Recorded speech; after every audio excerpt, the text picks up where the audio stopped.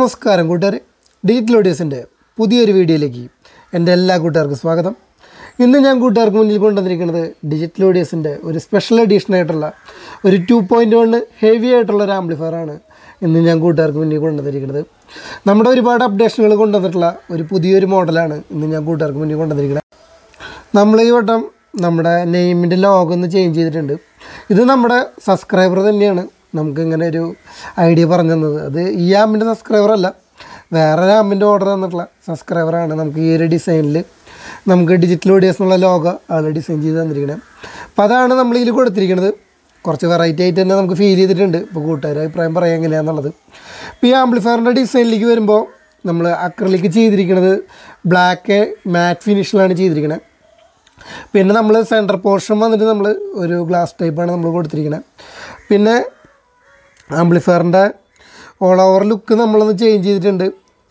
ഡിസൈനിലും control സെക്ഷനിലും അതിലൊക്കെ നമ്മൾ കുറച്ചധികം നല്ല രീതിയിൽ തന്നെ മാറ്റങ്ങൾ കൊണ്ടുവന്നിട്ടുണ്ട്.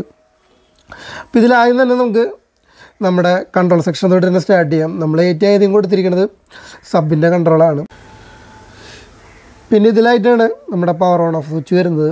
പിന്നെ നമ്മൾ ഈ രണ്ട് സൈഡിലായിട്ട് രണ്ട് വി യു മീറ്റർ കൊടുത്തിട്ടുണ്ട്.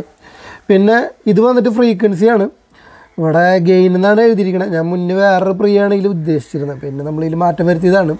അപ്പോൾ ഇതിൽ നമ്മൾ കൊടുത്തിരിക്കുന്നത് ഫ്രീക്വൻസിയാണ് പിന്നെ ബേസ് ട്രിബിൾ പിന്നെ വോളിയം പിന്നെ ഇത് ഓക്സ് ടി വി സെലക്ട് ചെയ്യാനുള്ള ഓക്സും യു എസ് ബി സെലക്ട് ചെയ്യാനുള്ള സ്വിച്ചാണ് പിന്നെ ഒരു ഓക്സ് വന്നിട്ട് യു എസ് ബിയിലേക്ക് ഡയറക്റ്റും കൊടുത്തിട്ടുണ്ട്.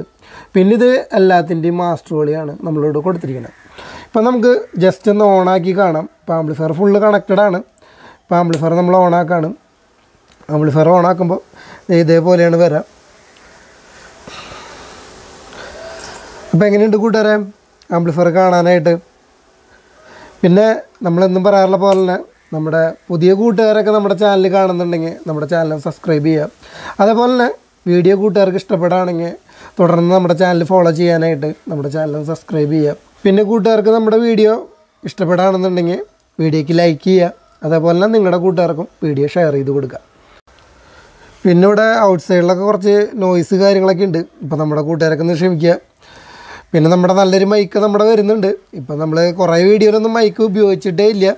ഇപ്പം നമ്മളിതേ കൂട്ടുകാരെ അഭ്യർത്ഥന പ്രകാരം നമ്മുടെ വീഡിയോയിൽ വോയിസ് ഒന്നും ക്ലാരിറ്റി ഇല്ലെന്ന് ഒരുപാട് പേര് പറയുന്നുണ്ട്. അപ്പോൾ നമ്മളിതേ വീണ്ടും മൈക്ക് എടുത്തിട്ടുണ്ട്.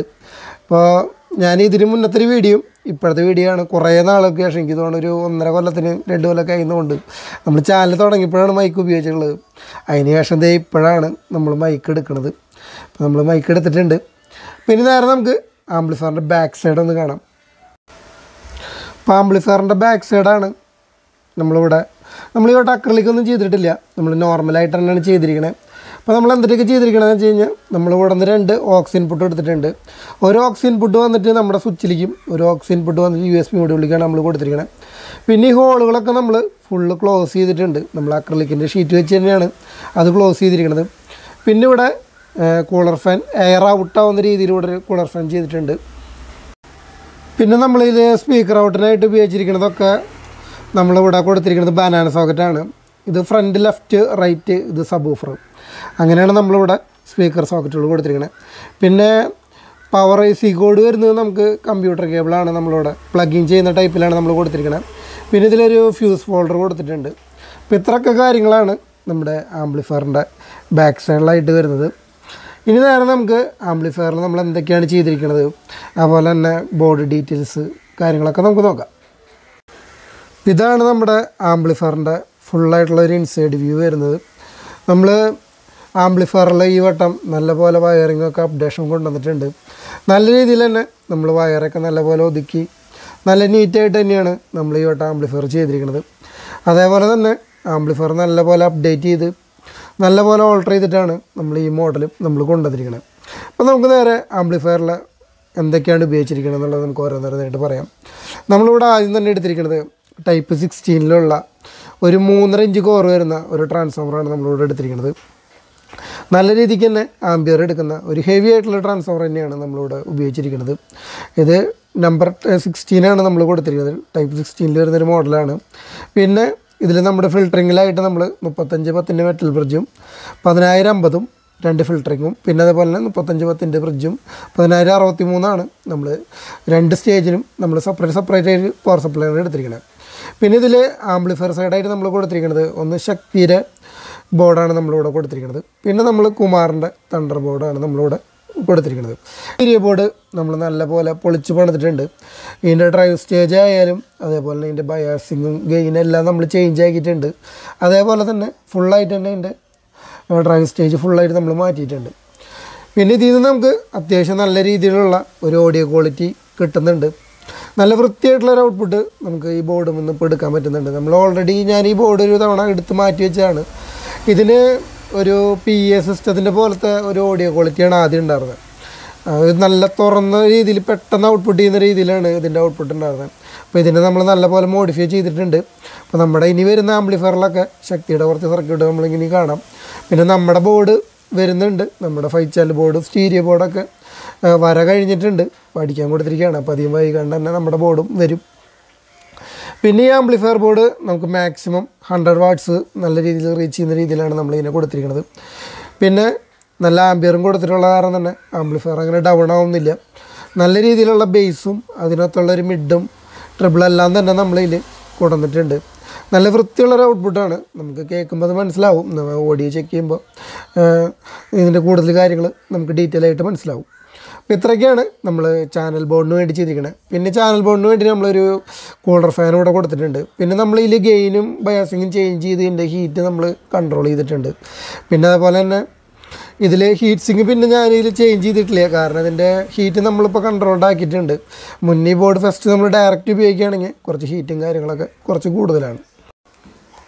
പിന്നെ കുമാറിന്റെ തണ്ടർ ബോർഡിൽ നമുക്ക് ഏകദേശം മുന്നൂറ് വാട്ട്സ് നല്ല രീതിയിൽ തന്നെ ഔട്ട്പുട്ട് എടുക്കുന്ന ഒരു ആറ് ട്രാൻസിസ്റ്ററുള്ള ഒരു ബോർഡാണ് ഇതിൽ നമുക്ക് മാക്സിമം ത്രീ ഫിഫ്റ്റി വരെയൊക്കെ നമുക്ക് റീച്ച് ചെയ്യാൻ പറ്റും.